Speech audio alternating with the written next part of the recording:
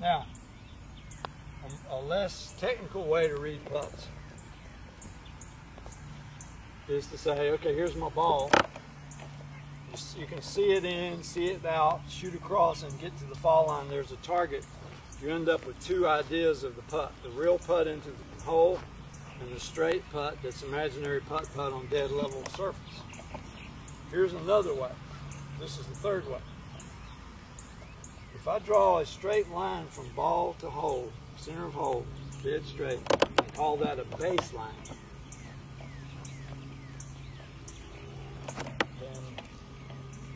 the second line is the fall line.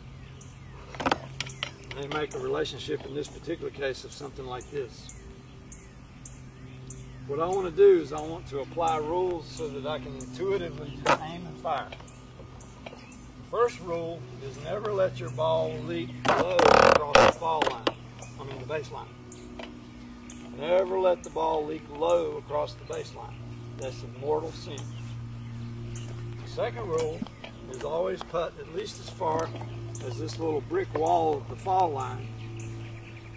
Not fast across it and not short of it, but cozy it up right onto that fall line. Maybe two at the lip when you cross it is okay. Like maybe this would be okay. Two at the lip, that's fine.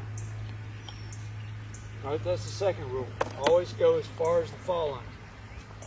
The third rule is aim high up the fall line, only so far as necessary to make sure that it never goes leaky left or leaky low.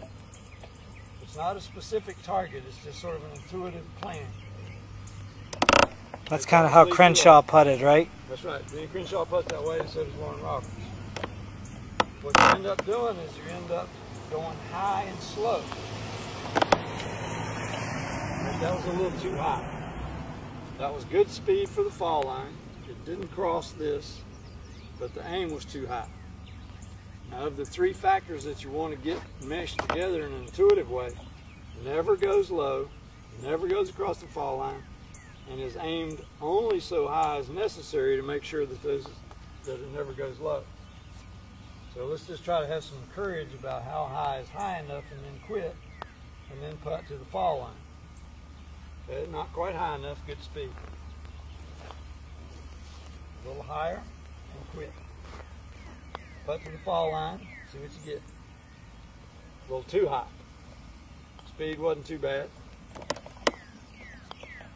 So as you practice this, it's all about committing to staying high and staying slow, and then having guts enough to quit going high when you think you got the job done.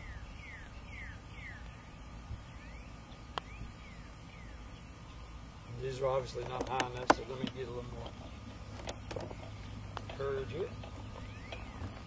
Extra high, extra slow.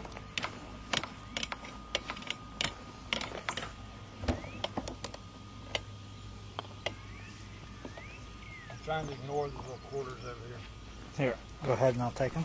Yeah. We don't want to have a specific target. We just want to have a sense of fall line and baseline. If I aim dead down the baseline, I would know that that would be bad. If I started cranking my aim high, I would have to have the guts to know when to quit. But it's always put only to the fall line. So that one just wasn't high enough.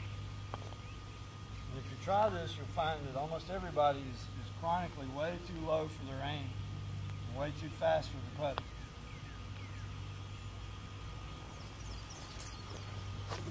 Now, if I were like miles and miles away and created a baseline and a fall line, that's all I was really worried about was staying above the baseline and stopping at the fall line.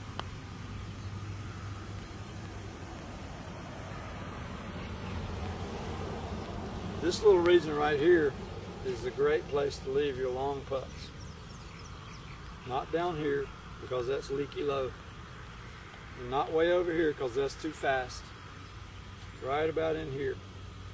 If you if you aim too high and you miss it to the high side, you're not going to be penalized because as the ball finishes its run out, it's going to be closing the gap in closer and closer to the hole.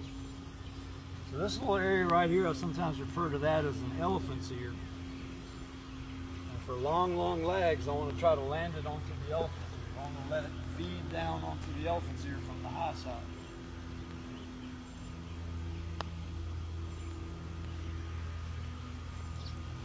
Just too much speed, but that was pretty good. And if you think of that fall line as a brick wall, very definite place not to go across, that helps out a lot.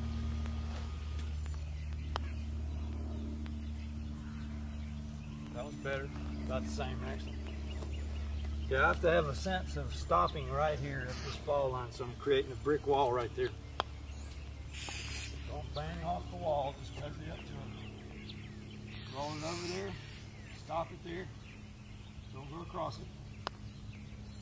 Better.